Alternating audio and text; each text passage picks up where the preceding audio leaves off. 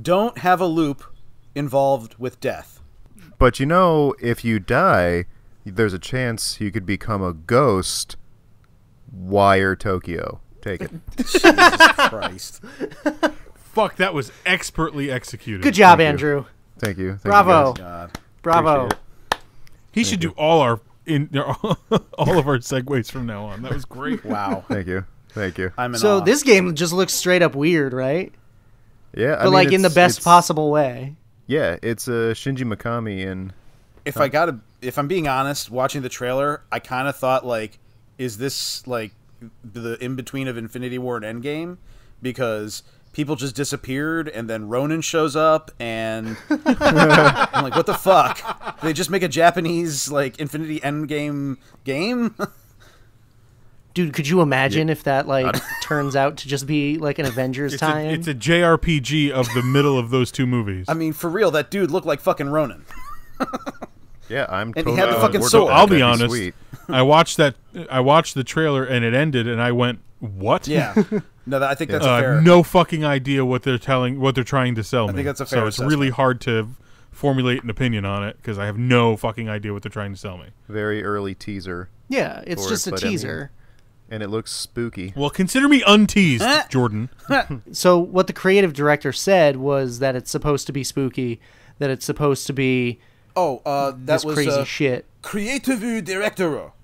Ikumi Nakamura that the internet instantly fell in love with. Yeah. Um I don't know, dude. It just like it caught my attention.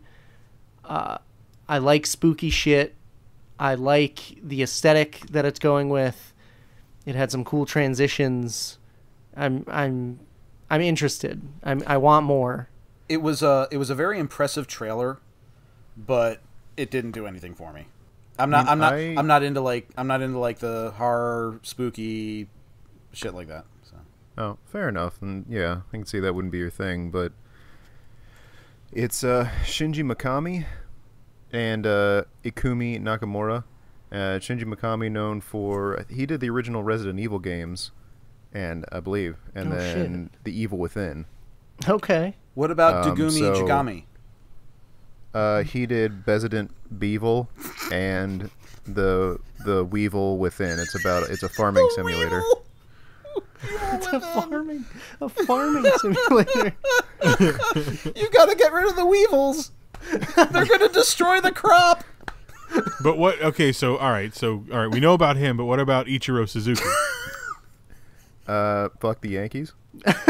He what? Yeah, Uh, was he He was barely a Yeah. Yankee. I know, but it was when. How often do I get to say that in this podcast? a lot? Like Yeah, last good- episode. Good Um, point.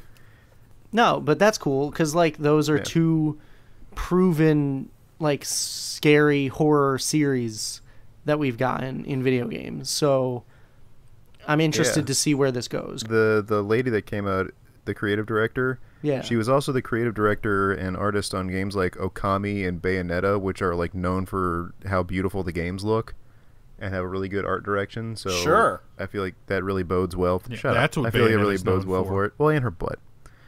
Um, but it's better. Like Okami had a very distinct, pretty art style. Sure. So I just I do like the the aesthetic of the game. I liked the aesthetic of the trailer. Um, like I said, the transitions between shots and things, Yeah. like when the flower turned into that like creature Sure. thing. anyway, um, No, but I'm I'm I'm I'm interested. Yeah, I'm, I'm definitely ready to, to see more about it. I, I'd like to see some gameplay before I you know say anything. Yeah. but